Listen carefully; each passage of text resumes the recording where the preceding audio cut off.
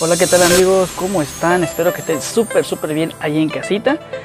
Pues el día de hoy les traigo otro nuevo video. Es una video reacción de un youtuber, eh, al parecer es de Chiapas, chapaneco, pero está allá en Canadá. Hizo su vida en Canadá, se casó con una canadiense, tuvieron hijos canadiencitos. Y bueno, es otra, otra historia, ¿no? Ok, el día de hoy traigo una video reacción de algo súper interesante, algo que yo pienso desde mi punto de vista que es algo que debemos tomar en cuenta eh, para poder ayudar a personas, ¿no? El video trata de lo que son los influencers, los parásitos de influencers se puede decir, a quién le damos de comer cuando vemos un video, cuando, cuando le damos like, cuando compartimos, todas esas cosas, todos los videos en YouTube, por si, bueno, quiero pensar que ya todos lo saben, pero por si alguien que no lo sepa, todos esos, esos videos que vemos en YouTube, haz de cuenta que, al abrir el video y ver, eh, ver un cierto minuto, ciertas horas de reproducción, le estamos dando de comer al dueño del video, al dueño de ese canal, más que nada, ¿no?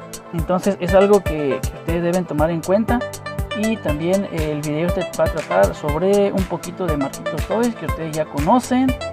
Pero bueno, vamos a, a ver la video reacción y que comience el video. Ellos no tienen ninguna responsabilidad de cumplir mis expectativas y yo no tengo nada que estar haciendo hablando de ellos. Los menciono solo porque este fue el tema que ustedes escogieron. Pero ahora viene al tema y es muy importante. ¿Por qué los hicimos famosos? Si ustedes revisan los eventos de YouTube patrocinados en América Latina, en todos están ellos, lo cual los convierte en figuras públicas muy relevantes. Veamos a este grupo de niños mexicanos, ganadores del concurso internacional de cálculo mental. ¿Alguna vez escuchaste sus nombres? No, son anónimos. Estos otros, ocho medallas en la Olimpiada de Matemáticas, también anónimos. Y ellos, los que ganaron el torneo mundial de robótica, ganaron el tercer lugar, el segundo lugar y el primero en diferentes categorías. Si ellos quieren viajar, se lo tienen que pagar ellos, porque no tienen millones de seguidores que los admiran y siguen sus pasos. De hecho, vi en sus redes y uno de estos jóvenes tiene 90 seguidores. 90. Comparen con el joven González, casi 2 millones. Y la señorita Hoffman va para 7 millones. De entre miles de mexicanos, ellos son a quienes elegimos como los más influenciales. Ignoramos a ellos, que ganaron cuatro medallas en la Olimpiada de Matemáticas, o a los que ganaron la Olimpiada de Química, o los que crearon este algoritmo que elimina el sargazo. Tienen 23 likes. 23. Esta, por ejemplo, tiene 348 mil. Y así, jóvenes y niños mexicanos son ignorados para darle toda la atención a los llamados influencers. Quiero ser parte del cambio, por lo que ofrezco esta mi humilde plataforma para que al menos una vez veas sus rostros y te enteres de sus logros. Campeonatos de matemáticas, ciencia y estos niños que descalzos ganaron el torneo internacional de básquetbol. Y sabes que hay muchísimas marcas de tenis deportivos y patrocinadores que les encantaría mandar muchos tenis gratis. Pero no a estos niños, claro que no. Ellos no tienen admiradores. Se lo mandan a alguno de ellos, porque así lo elegimos nosotros. Lamentablemente, mi gente, esta es la cuestión. Uno elige normalmente este, gente parásita para que prácticamente represente lo que es lo que México, a los mexicanos, pues, o sea, a, a, lo que voy con esto es de que, de que las empresas grandes, como les dijo él, les administra, les patrocina tenis depende de los seguidores, no del logro que tengas, ni, ni de la criatura, ni del cuerpo, ni el humano. Es lo, los seguidores que tengan. ¿Para qué? Para darle más patrocinio y darle más fama a su, a su marca de, de, zapatos, de tenis, de X cosas. ¿Qué es lo que hacemos nosotros de que cuando nos suscribimos a un canal de uno de estos parásitos, porque no se puede de otra forma, ¿Qué es lo que pasa? De que le estamos dando fama, le estamos dando dinero, le estamos dando una vida de, lujos. Entonces, este, ahí es de, en donde entra la temática de Marquito Estoy. Que, vamos a ver más adelante eh, sobre un video de él. Para mí, para mí, él sí se, sí se, ¿cómo se puede decir? Sí se merece los seguidores porque él no todo se lo queda él solo. Él ayuda, ayuda a gente pobre. Yo lo han visto ustedes en otros videos. Y, y bueno, lo que hacemos con, con suscribirnos a, a, influencers, a todas esas cosas de que van a viajar, que el día de hoy le, metí un turbo a mi carro. El, fíjense, fíjense cómo son la cuestión, que hasta a veces hasta, hasta lo presumen, es así como de, este, me llevé mi Ferrari al autódromo, este, le metí turbo a mi Audi R8, le metí esto a mí, a mí, a mí. Si dicen que son, que son, que son canales de familia, que son gracias a ustedes, este, esas personas han llegado hasta allí, ¿por qué nunca les han regalado nada? ¿Por qué nunca dice, bueno, vamos, vamos, voy a rifar esto con mis, con mis seguidores, con mis suscriptores, porque somos un canal? Nunca lo hacen, en cambio, el Marquito Estoy, él sí lo hace. Vamos a continuar con el video.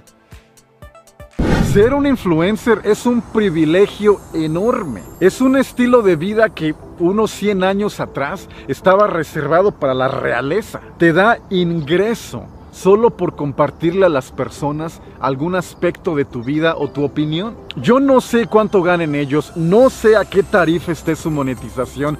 Esta señorita, por ejemplo, con el propósito de informarme para hacer este video, vi 30 segundos de uno de sus videos y noté que cada una de tres palabras es una vulgaridad. YouTube no monetiza bien las palabras obscenas y esta señorita al hacer sus videos tiene un uso excesivo de palabras obscenas. No sé cómo esté su monetización, pero tiene que tener al menos algo. No creo que suba videos solo como servicio a la comunidad. Y no solamente estas dos personas que surgieron a la vista pública últimamente. Piensen en todas las personas a las que les hemos dado poder e influencia y en verdad reflexionen si son un buen ejemplo, nos representan dignamente o si son un modelo a seguir. Al convertir a alguien en influencer, les estamos dando una vida cómoda, un ingreso constante y lo más principal, nos representan en el mundo porque pueden viajar.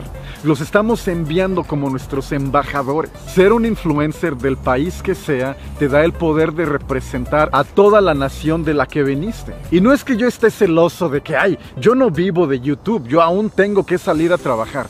Lo que me molesta es que no le damos ese privilegio a las personas que sí se lo merecen. ¿Por qué no le damos ese estatus de embajador de nuestro país, de nuestra cultura y de nuestra civilización a alguno de ellos? No tienen que salir al mundo a competir y a mostrar su intelecto y les deje un sabor de boca de decir, esos mexicanos todos son inteligentes. No, que vaya por pura diversión a disfrutar, pero que sea alguien que se lo merezca más. Viajar por el mundo es el sueño de muchos y al alcance de muy pocos. ¿Por qué no mandamos a ellos en lugar de mandarla a ella? Y al decir mandarla es porque nosotros los estamos mandando. Tú al consumir sus videos los estás financiando. Prácticamente estás viajando gratis te ganas la vida viajando, te pagan por escoger el país que quieras, la ciudad que quieras y vas y grabas un video y así te ganas la vida. ¿Por qué estamos mandando al más idiota? Cuando le damos a alguien el apoyo de salir a representarlos, tenemos que escoger al mejor, al que se lo merezca más, al que ha dado más por su país y no todo lo contrario. Solo háganse la pregunta, ¿quién merece viajar por el mundo? ¿Ellos o él?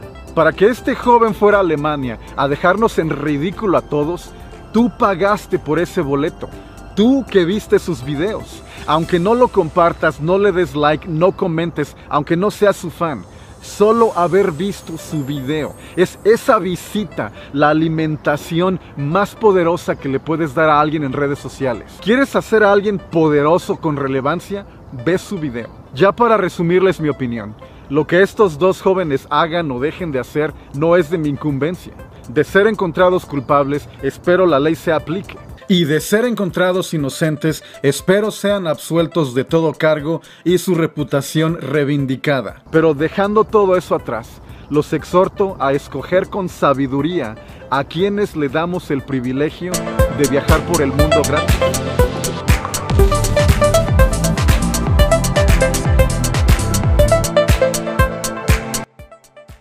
Pues sí, mi gente, entonces ustedes piensen, imagínense a quién le dan las suscripciones, a quién le dan esto, a quién le dan las, lo otro, ¿no? Porque todo eso eh, conlleva a que le, damos, le estamos dando una vida de lujo a influencers que no hacen nada por nuestro México. México tiene mucha, tiene así de gente muy pobre, de bajos recursos, que se está muriendo de hambre. Cuando ellos, eh, lo que uno hace en ayudarlos a ellos, se puede decir con la suscripción, con las horas de reproducción, esto y lo otro, este, es darle dinero. Pero nunca hace nada por ayudar a nuestro, nuestros patriotas, nuestros mexicanos, nuestros paisanos.